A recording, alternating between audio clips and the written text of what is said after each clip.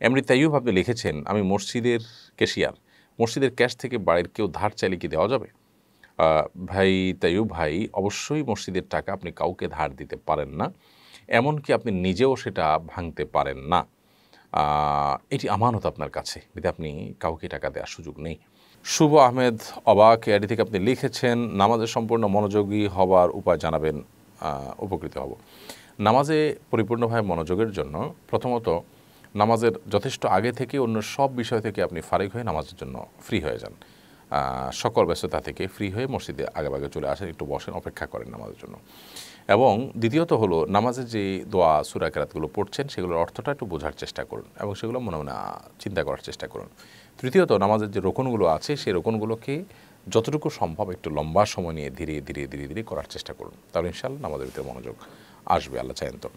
চলন হারিয়ে যাই আইডি থেকে লিখেছেন ফজরের নামাজ মাঝে মাঝে কাজা হয়ে যায়। অনেক চেষ্টা করার পরও এর থেকে মুক্তি পাচ্ছি না আমার করণীয় কি? ফজরের নামাজ মাঝে মধ্যে যদি কাজা হয়ে যায়, তাহলে সেক্ষেত্রে এর থেকে মুক্তি পাওয়ার উপায় হলো রাতে তাড়াতাড়ি শোয়া। এসার পর দেরি না করে দ্রুততার সাথে শুয়ে পড়বেন। যত দ্রুততার সাথে শুবেন, ফজর নামাজ পড়াটা তত আপনার জন্য সহজ হবে। এটি হলো মূল করণীয়।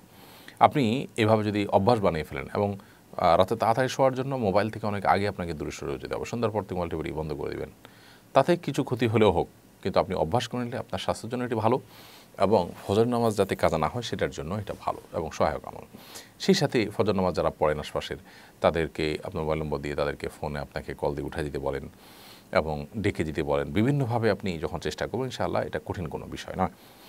পুষ্পকলি এআডি থেকে আপনি লিখেছেন, আমার হাজব্যান্ড এখন টিউশন করে সংসার চালায়, কিন্তু বর্তমান অবস্থায় সব কিছু যে দাম, দেয়ালে পিঠ ঠেকে গেছে। কোনোভাবে সংসার চালাতে পারছেন না। এ অবস্থায় ব্যাংকে চাকরি করা কি জায়েজ হবে? দেখুন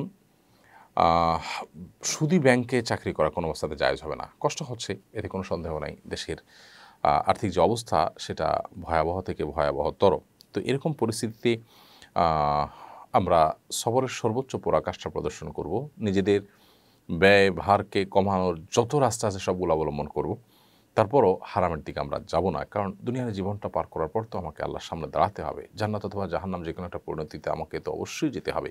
অতএব আমি সুদের বিনিময়ে যদি জাহান্নামকে বেছে নিতে হয়, সেটা অবশ্যই আমার জন্য খুব করুণ পরিণতির কথা, করুণ দৃশ্যের কথা, সে খুবই বাজে ঠিকানার কথা। বিধায় সেটাকে কোনো মানুষ গ্রহণ করতে পারে না। বিধায় সর্বোচ্চ চেষ্টা করে হলে হারাম থেকে আপনাকে বেঁচে থাকার চেষ্টা করতে হবে।